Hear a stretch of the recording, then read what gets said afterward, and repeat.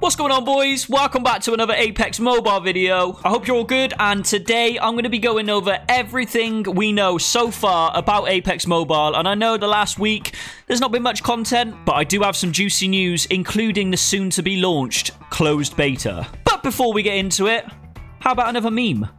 Let's go.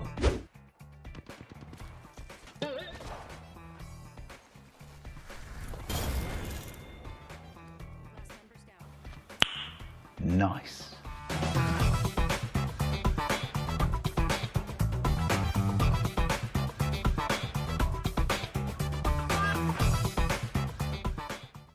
Okay, so welcome back to another video on the upcoming game, Apex Legends Mobile.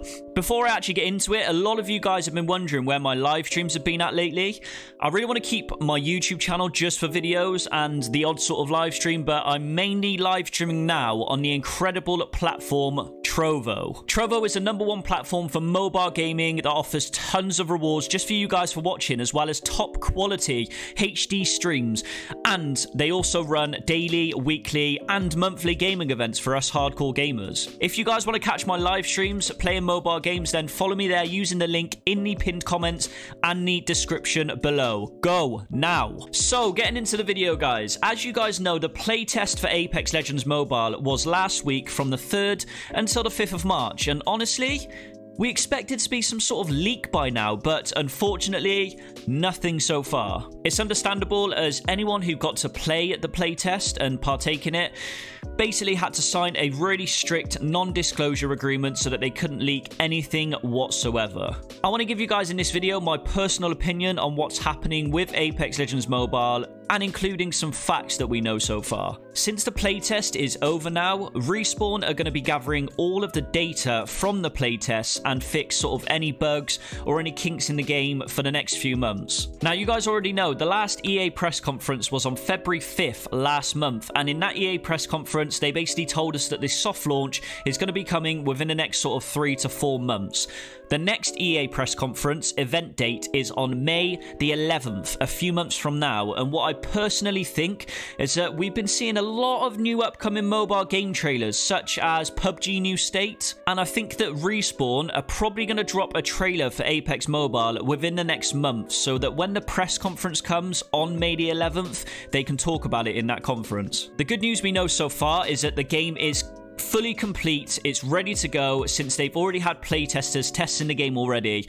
And for the next few months now, they will most likely start marketing the game using trailers and gameplay. The reason for me thinking the trailer will drop soon is because on June 27th this year, guys, Tencent hosts their annual game show where they show off any new and upcoming games this year, and it will include Apex Legends Mobile, as Tencent are the ones working on it alongside Respawn. I've done a lot of heavy research, and back before Call of Duty Mobile release, they advertised the first ever Call of Duty Mobile trailer at the Tencent game show in 2018, and shortly after that, the closed beta came out. Don't worry, as Call of Duty Mobile didn't have playtesters back then, and the good news is for us that they've already had playtesters with Apex Mobile last week. Some other news that I've found as well are some more important job listings for the Respawn team for Apex Mobile in Vancouver, Canada. They are looking for two new jobs for a game designer and a lead game designer. These were shortly added after the playtest finished last week, which means that they are working very, very hard to polish the game before they release the closed beta for us. So, all that being said, I want to give you guys my future predictions now. And remember, these are only predictions, but they are backed by some heavy research. I think we're going to receive a trailer anywhere from now until the end of April next month.